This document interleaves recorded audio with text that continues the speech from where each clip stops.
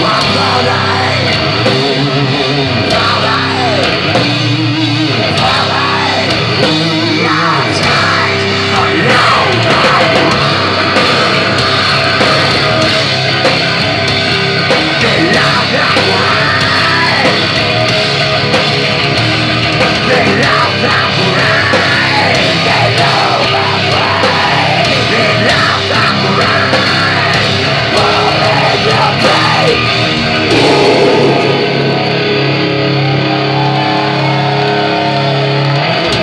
Fucking A, Manchester!